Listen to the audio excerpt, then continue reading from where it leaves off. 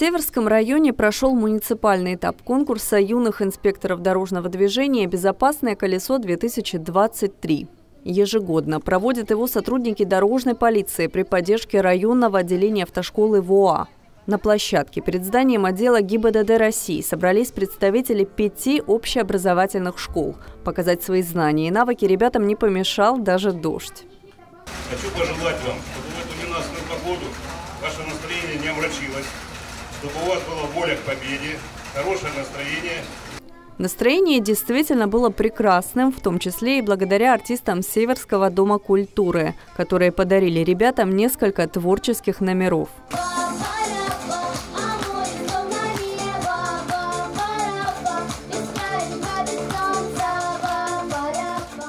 Победа в муниципальном этапе конкурса дает не только удовлетворение и право обладания кубком. Победители, участвующие, точнее, участвующие в конкурсе дети, победители, поедут в город Анапу, в санаторий «Смена», где дальше уже будут представлять наш район на краевом конкурсе. В этом году участниками стали команды школ номер один станицы Азовской, номер 45 станицы Северской, номер 11 станицы Григорьевской и номер 16 поселка Ильский. Для кого-то из них это уже второй и третий раз, а кто-то приехал поучаствовать впервые, например, Филипп Анашкин. В данном мероприятии я участвую первый раз. Я считаю, что это мероприятие очень поучительное. Приехал я из школы 45.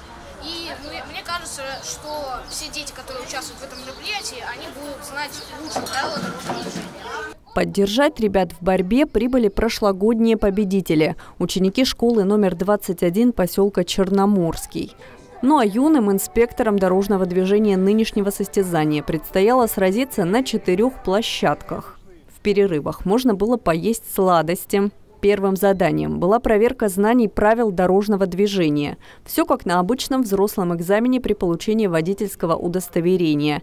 Билеты с вопросами самые настоящие – Затем станция «Фигурное вождение», где нужно показать свои умения езды на велосипеде.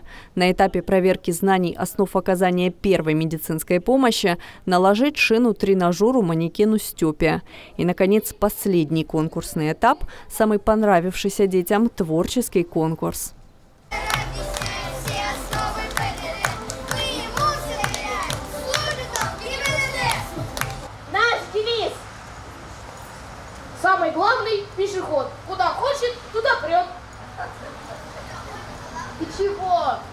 В личных номинациях за актерское мастерство грамоту получил Филипп Анашкин, за виртуозную езду на велосипеде Ярослав Брюховецкий. Александр Михалевич оказался лучшим знатоком основ оказания первой медпомощи, а Диана Гельманова – правил дорожного движения. Все участники получили подарки от организаторов.